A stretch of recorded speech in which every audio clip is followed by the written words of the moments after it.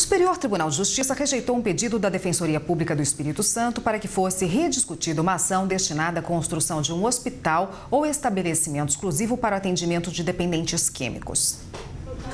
Em uma ação civil, a Defensoria Pública do Espírito Santo fez um pedido para rediscutir a construção de um hospital exclusivo para dependentes químicos no estado. A Defensoria alegou violação do direito à saúde, apontando a pouca eficiência do poder público em combater o tráfico de drogas. Mas a segunda turma rejeitou o pedido da Defensoria Pública. De acordo com os ministros, esse caso é de competência do Supremo Tribunal Federal, o STF. Isso porque o caso foi julgado como procedente em primeira instância, mas o Tribunal de Justiça do Espírito Santo reformou a sentença.